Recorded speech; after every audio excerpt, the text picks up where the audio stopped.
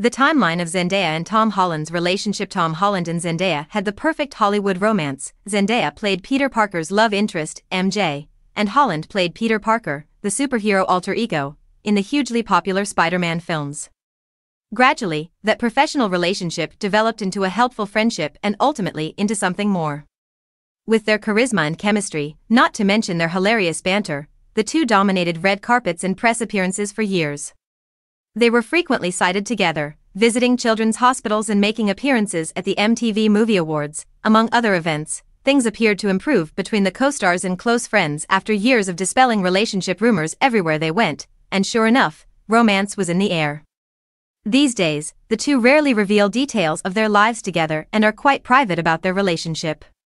They don't usually make dramatic vows of love or appear together on the red carpet, but you can routinely see them in paparazzi images, spending quality time together throughout the world, and supporting each other while filming their various projects. Rather, they handle their relationship in their own unique way, which adds even more specialness to the tiny bits and pieces they do choose to share with us.